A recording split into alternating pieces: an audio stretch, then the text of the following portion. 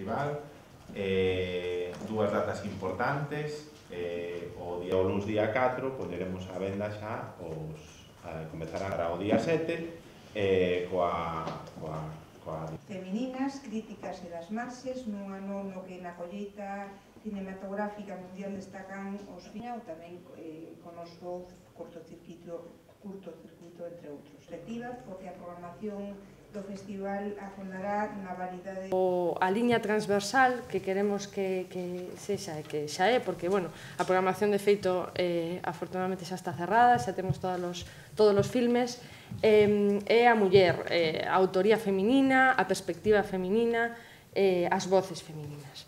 Entón, isto é algo que poderemos ver tanto na sección oficial e tamén nas seccións paralelas. E,